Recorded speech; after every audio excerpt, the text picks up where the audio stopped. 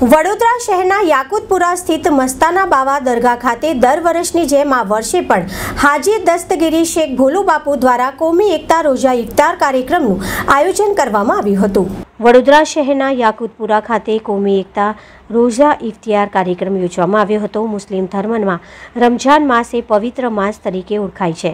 ત્યારે સાંજના સમયે રોજા છોડવા માટેની તૈયારી કરવામાં આવી હતી. આજરોજ યાકુતપુરા સ્થિત યા હુસેન શહીદ મસ્તાન બાવા દરગાહ ખાતેની દરગાહ ઉપર કોમી એકતા રોજા ઇફ્તિયારનો કાર્યક્રમ દર વર્ષની જેમ આ વર્ષે પણ રાખવામાં આવ્યો હતો.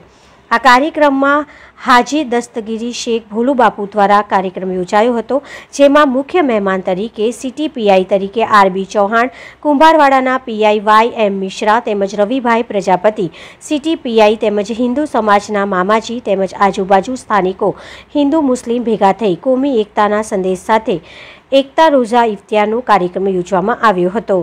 રમજાન માસનો બીસમો રોજા છે. આ રોજા ઇફતાર માટે મચ્છાનસા બાબા દરગાહના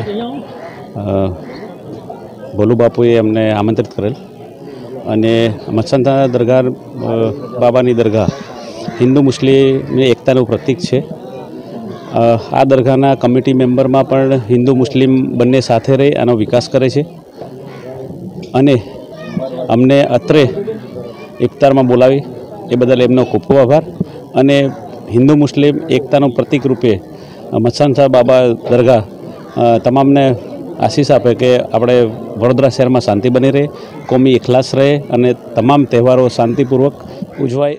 રમઝાનનું વીસમો રોજો છે અને વીસમા રોજાના દિવસે મસ્તાન બાબા દરગાહ કમિટી તરફથી ઇફતારીનો પ્રોગ્રામ રાખવામાં આવ્યો છે અને આ દર વર્ષે મસ્તાન બાબા દરગાહ તરફથી આ કોમી એકતામાં ઇફતારીનો પ્રોગ્રામ થાય છે અને આ પ્રોગ્રામની અંદર તમામ અમારા દરગાહના આજુબાજુના હિન્દુ, મુસ્લિમ ભેગા થઈને ઇફતારી કરે છે અને સિટી પોલીસ સ્ટેશનના અધિકારી ચૌહાણ સાહેબને પણ હાજરી આપી છે.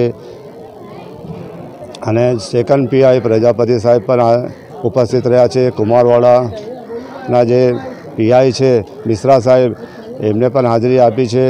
અને અમારા જૂનીગઢીના ગણેશ મંડળના પ્રમુખ વિક્કીભાઈ સિંધે એ પણ ઉપસ્થિત છે. ગોપાલભાઈ શાહ જીતુભાઈ બારોટ, પૂનમબેન, સોની, રેખાબેન, ઠાકોર અને સંજયભાઈ કપૂર એવા તમામ અમારી દરગાહ કમિટીના સભ્યો ભેગા થઈને આ ઇફતારીની સેવા આપીએ છીએ.